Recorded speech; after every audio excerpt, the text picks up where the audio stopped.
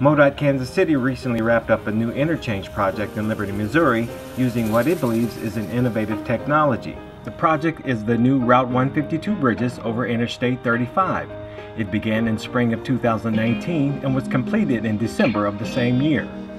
Designers say the primary innovation of this project is called the Displaced Left Turn. Displaced Left Turn is an arrangement of vehicular movements MoDOT believes is the first of its kind built in the world. This design was selected after a thorough traffic modeling study which examined other diamond interchanges including traditional, diverging, and single point exchanges. The innovation makes the traffic signals more efficient by altering phases and allowing different traffic movements to move at the same time. The displaced left turn eliminates left turns at the main intersection. Instead, vehicles must first cross the opposing through lanes at a signal-controlled intersection several hundred feet from the main intersection. By combining the best attributes of traditional diamonds and DDI interchanges, the displaced left turn is proving to be a successful innovation. Route 152, also known as Kansas Street, is a major commuter and retail corridor, carrying more than 45,000 vehicles per day in the cities of Kansas City and Liberty.